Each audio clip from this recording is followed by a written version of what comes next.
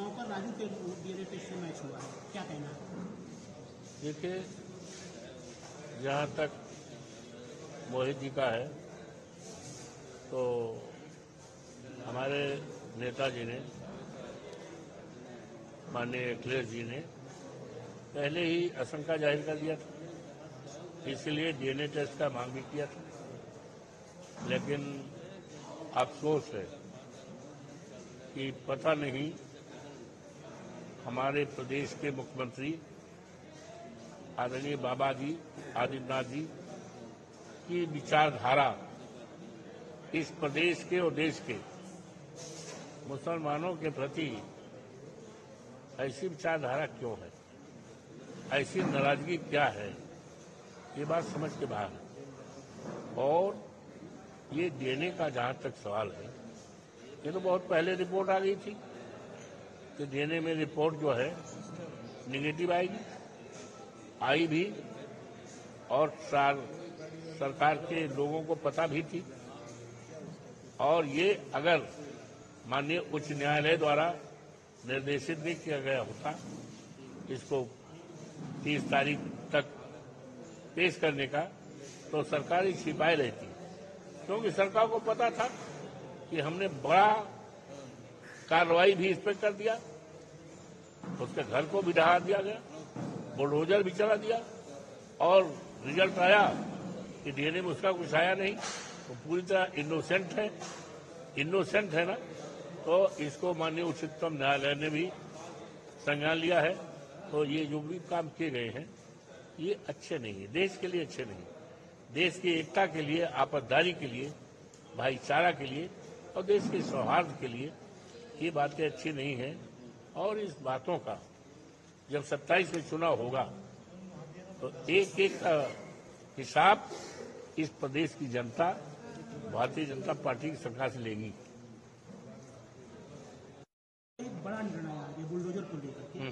Supreme court का कहना है अनधिकृत निर्माण दिलाने के लिए जो दिशा निर्देश बनाएगा वह पूरे भारत में और सभी धर्मों के लिए लागू होंगे अदालत ने कहा है कि वह स्पष्ट कर देगी कि केवल इसलिए कि केवल कोई व्यक्ति आरोपी या दोषी है उस या संपत्ति की ध्वस्त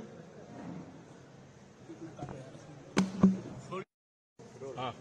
सुप्रीम कोर्ट ने मंगलवार कहा अनिगृहित निर्माण को गिराने के लिए वह जो दिशा निर्देश बनाएगा पूरे भारत में और सभी धर्मों के लिए लागू होंगे। अदालत ने कहा है कि वह स्पष्ट कर देगी कि केवल इसलिए कि कोई व्यक्ति आरोपी या दोषी है, या संपत्ति को ध्वस्त करने का अधिकार नहीं हो सकता है। उन्होंने कहा है कि हम जो भी कुछ कर रहे हैं, वह एक धर्मनिरपेक्ष देश है। ये के वी विश्वनाथक की पीठ ने कहा है कि हम इसे सभी नागरिकों के लिए, सभी संस्थाओं के लिए रख करके किसी विशेष समुदाय के लिए नहीं होगा। क्या कहना हमें गौरव है और गर्व है अपने देश की न्यायपालिका पर। और तमाम ऐसे मुद्दे जो देश के लिए बहुत बड़े खतरे हो सकते थे, देश के लिए बिलगाव व्यवस्था हो सकती थी, लेकिन माननीय उच्चतम न्यायालय ने अपने न्याय से, अपने निर्णय से उस समस्या का समाधान किया। तो इसी तरह जो बुलडोजर के संबंध में उन्होंने अपना फैसला किया, ये बड़ा सराहनीय है। इससे देश में आपसदारी, एकता, भाईचारा और जो अनेकता में एकता का सौहार्द देश में बना है, उसको कायम करने में हमारे देश की न्यायपालिका सक्षम है। हम इसकी सराहना करते हैं।